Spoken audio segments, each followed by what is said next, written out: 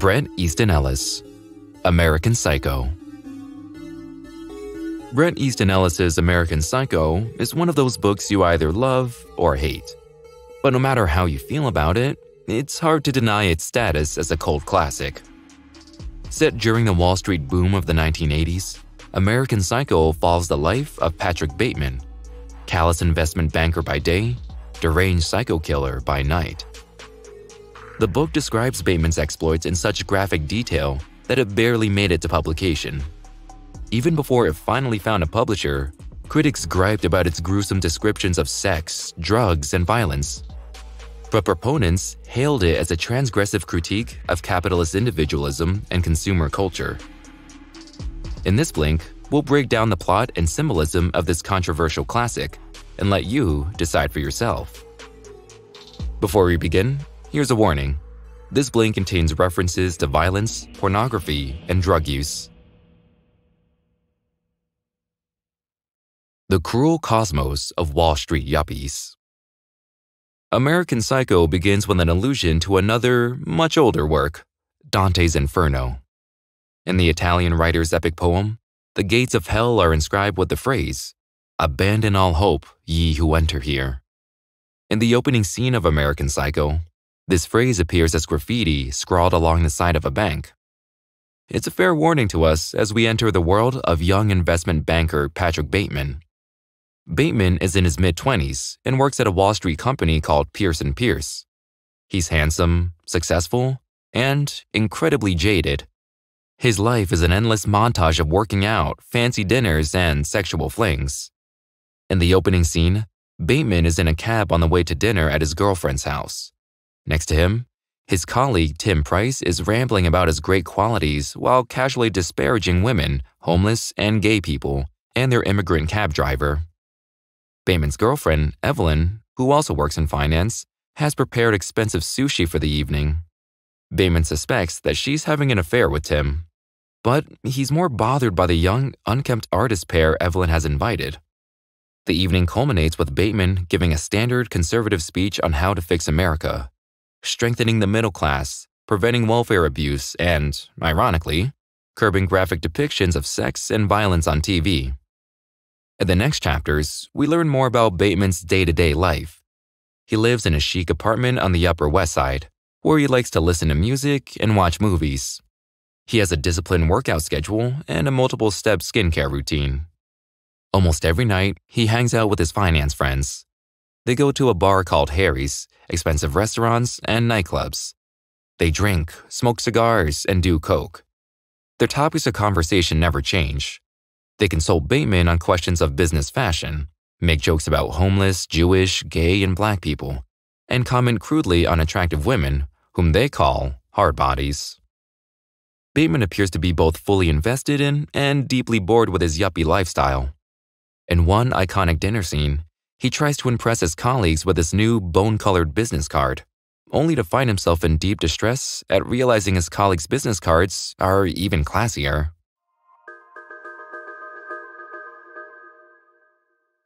The first chapters of the novel introduce us to the world of Patrick Bateman. It's a world of Wall Street yuppies ruled by money, consumption, and superficiality. Bateman's first person narration gives us insight into a system of values. He's as obsessed with material possessions as with his own appearance. His great American idol is Donald Trump, and he can conceive of others, women in particular, only as objects for his own entertainment. But disturbingly, all these traits are all shared by the people around him. Bateman's colleagues appear just as cruel as he is, routinely offering sexist, racist, and classist observations. One of them casually talks about blowing someone's head off. Author Bret Easton Ellis is setting the stage. The transition between verbal and physical violence will be seamless. Bateman also reveals himself to be an unreliable narrator. He frequently confuses his finance buddies for one another, and is in turn frequently mistaken by them. And we get first hints at his murderous inclinations through occasional offhand remarks. For instance, he mentions a serrated knife in his pocket and masturbating to a movie scene in which a woman is murdered. The stupor of mass consumption. In a foreboding scene, Bateman is at the dry cleaners, complaining about a bloody shirt that has been returned to him not completely cleaned. The Chinese woman at the counter barely understands him, which catapults him into a fit of rage. Later, Bateman is back at Harry's with his colleagues. They all discuss how there are no pretty women with good personalities. One of them explains that he likes to taunt homeless people by holding out a dollar, then snatching it away at the last second. As the novel progresses, scenes like these repeat themselves in slight variation. Bateman goes to dinner with colleagues, to a club, or on dates. He goes to the gym, gets a facial, or browses at the video store. Very rarely do we catch him at his office. There, he seems to do little more than drink and critique the outfits worn by his secretary, Jean, who he's convinced is in love with him. Above all, Bateman is constantly consuming. There's substances, alcohol, prescription drugs, cocaine, and cigars. There's media, horror movies like Body Double, trashy talk TV like the fictional Patty Winter Show, and obscenely titled porn. And finally, there's music, which he listens to on his home stereo or his Walkman. The story is interrupted three times with Bateman's lengthy analyses of the discographies of Genesis, Whitney Houston, and Huey Lewis and the News. Bateman also consumes women. His relationship with Evelyn is largely sexless, so he frequently goes on dates with mistresses. He treats them with utter disrespect. For example, he shamelessly lies to one of them about having reservations at a fancy restaurant called Dorsia. He's also dating Courtney, the fiancée of his much abhorred colleague, Luis Carruthers. After a party where Courtney tells him Luis might be onto them, he approaches a homeless man on the street. He offers him help at first, but then starts berating him, telling him that he has a bad attitude. Finally, he pulls out a knife and brutally stabs the man, then breaks his dog's legs and walks away. Later in the book, a college student stops Bateman in the street and asks him to name the saddest song he knows. Bateman names you Can't Always Get What You Want by the Rolling Stones.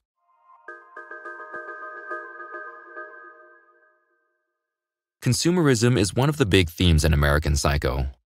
The book is littered with references to luxury brands, mass media, and pop culture. For instance, Bateman constantly gives detailed descriptions of the brands of clothes people are wearing Gucci, Brooks Brothers, Oliver Peoples, and endlessly talks about the expensive tech he owns, from state-of-the-art Bowers and Wilkins speakers to a Toshiba VCR. In one telling scene, he's literally drooling over a red Lamborghini. It's a comment on the mindless overconsumption that defines capitalist American culture, and Bateman's yuppie bubble in particular. Bateman asserts his class status through his expensive taste, but also uses a constant stream of media to numb himself. As a consequence, violence has become just another avenue of entertainment for him but not even that evokes any real pleasure in him anymore. After he stabs the homeless man, he reports immediately feeling bored and tired. He's in a state some philosophers have called depressive hedonia. The overstimulation that defines his life of excess leaves him deeply understimulated. Everyone talks, but no one listens. One of the great puzzles at the heart of American Psycho is that Bateman frequently shares his murder fantasies with people around him. Sometimes he even outright admits to his crimes in front of others. Yet, no one seems to listen or care. During his facial, he tells his cosmetologist Helga about his perverted fantasies regarding blood transfusions, but she's too busy cleaning his pores to hear him. At lunch, he tells a Pierce and Pierce colleague that he likes to murder people, but the colleague keeps droning on about the Japanese takeover of the US. Over dinner, he tells Evelyn about two black children he killed, but she's distracted by a woman she mistakes for Ivana Trump. Instead of processing what he says, Evelyn fantasizes about getting married, a notion that Bateman resists vehemently. Their relationship in particular seems like a hollow performance that has little to do with mutual understanding. In a rare moment of romantic adventure, Bateman convinces Evelyn to skip her own Christmas party to go to a club, but Evelyn keeps worrying about the quality of the Waldorf salad she served. And at the club, Bateman gets in a fight with another couple, which leads Evelyn to storm off. Meanwhile, Bateman's exploits are growing more frequent and more violent. After observing a pride parade, he tortures a small dog to death. And over the supposed threat of Japanese investors, he kills an Asian delivery boy. He also tries to murder his colleague Luis Carruthers in a club bathroom. Unfortunately, Luis mistakes a strangulation attempt for a come on and starts kissing Bateman's hand. Horrified, Bateman flees the scene. He takes revenge later that night by brutally killing a gay man and his dog. He then picks up a sex worker and an escort, makes them have sex with each other, and abuses them with a coat hanger. Finally, he takes revenge on his work rival, Paul Owens. After a dinner at which Bateman tells Paul that he likes to dissect girls, he takes Paul back home to his apartment. Paul notices too late that the floor is already covered with old newspapers. Bateman, wearing a see through raincoat, lunges at him with an axe. After the murder, Bateman takes Paul's keys and goes to his apartment, where he re records the message on Paul's answering machine. But there's also a rare moment in which Bateman shows pity. After taking home a model from a club, he suddenly instructs her to leave because he's afraid he'll hurt her. His mercy, however, is just as arbitrary as his violence. The fact that the people around him frequently ignore Bateman's violent confessions is a potent satire of the superficiality of his surroundings. There's constant conversation throughout the book about fashion, dinner reservations, and different brands of bottled water, for instance but no one is really saying much, let alone listening to each other. Their absent mindedness is both cause and symptom of a lifestyle that offers no deep meaning or real connection. Evelyn is a prime example of this. She routinely overhears or misinterprets what Bateman is saying and is completely wrapped up in her own agenda of status and marriage. At one dinner, Bateman even attempts to break up with her, but Evelyn tells him that they should just avoid the issue. And Bateman is guilty of not listening too. He constantly zones out when other people talk to him. He's always distracted, thinking about his last or his next murder, pondering life or humming songs, such as Mick Jagger's Just Another Night.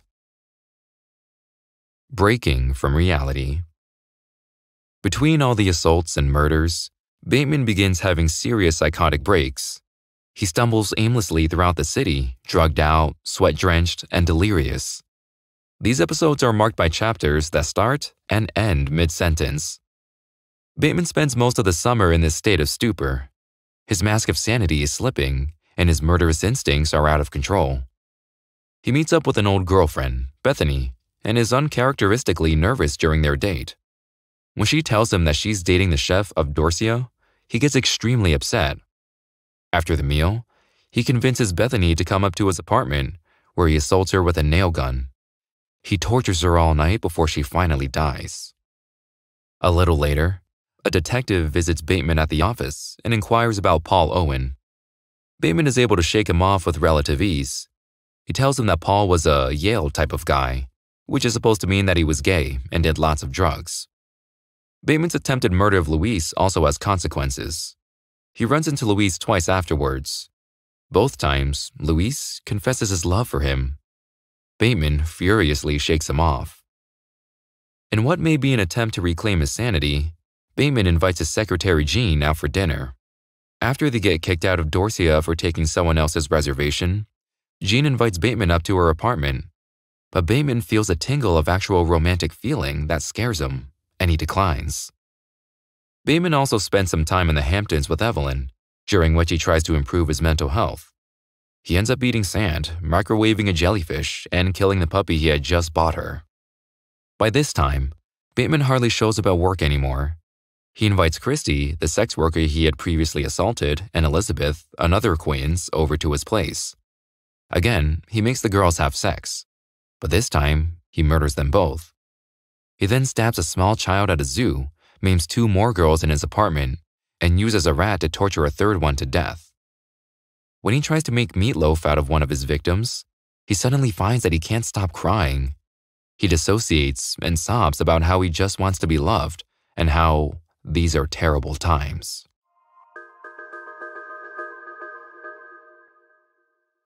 Toward the end of the book, Bateman's bloodlust spirals out of control. He's in deep existential pain that no amount of sex, violence, or drugs can appease. Paradoxically, as his murders and methods of torture get more extreme, he also seems to be growing more self aware. He feels himself turning into something increasingly inhuman. but he's also showing some rare insight and emotion. For instance, he finds himself overwhelmed by the shallowness of his life and curses the principles, distinctions, choices, morals, compromises that define it. Thoughts like these offer some of the most straightforward indictments of the greed, alienation, and violence that capitalist culture begets. Despite the increasingly disturbing murders, we get a glimpse of Bateman as a broken man, a victim of circumstance, who's simply looking for a way out of his pain. Bateman's Eternal Punishment By November, Bateman's flat reeks of decay. He has more and more breaks from reality, and now sometimes talks about himself in the third person. One night, he shoots a young saxophone player in the street, and the police start chasing him. He ends up in a full blown shootout with them. Improbably, one of his bullets hits the gas tank of the police car and it explodes. Bateman flees back to his apartment. He calls a random colleague, Harold Carnes, and leaves a message on Carnes' answering machine. He confesses to everything 50 to 100 murders by his own estimate, and ends with the admission that he's a pretty sick guy. But somehow, the retribution won't come. In the following days, Bateman is in bed again with Courtney. He's on a date with his new mistress, He's out at the bar with his boys. He even visits his mother, who's in the hospital. Heavily sedated, she tells him that he looks unhappy. By now, Bateman is literally begging to be found out. He begins asking colleagues if any corpses have been found at Paul Owen's apartment. When he visits the apartment one last time, he finds it completely cleaned out. He runs into a real estate agent holding a viewing of the place, who tells him to not make any trouble. Bateman finally confronts Harold Carnes at a club, asking what he thought of the message Bateman left him. Carnes said he found it hilarious. Bateman tries to convince him once more that he really is a serial killer, but Harold refuses to believe him. Bateman is as psychotic as ever. He sees messages on ATMs telling him to feed them stray cats. One day, Bateman gets in a cab. The cab driver insists that he knows him and finally reveals that he saw him on a wanted poster downtown. He then pulls out a gun and strips Bateman of his watch and wallet. He then throws him out of his car and calls him a yuppie scumbag. In the final scene, Bateman is back at Harry's. As usual, the boys are asking for his fashion advice, but Bateman is distracted and confused. The final moment of the book highlights a sign over a door at the bar. It says, This is not an exit.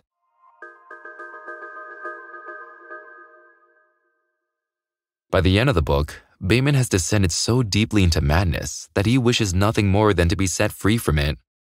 But his confessions once more fall on deaf ears. Bateman's punishment is that he has to keep living the life he's made for himself a life of greed, superficial pleasures, and casual violence. His run in with a cab driver poses the question outright Is his life really so much better than the life of the lower class people he despises? The sign at the end of the book, this is not an exit, reminds us of the graffiti from Dante at the beginning. Bateman is in hell, and there's no way out. Well, before you leave, don't forget to subscribe to Books in Blinks and leave your thoughts in the comments section below. Also, check out the other titles in our playlist.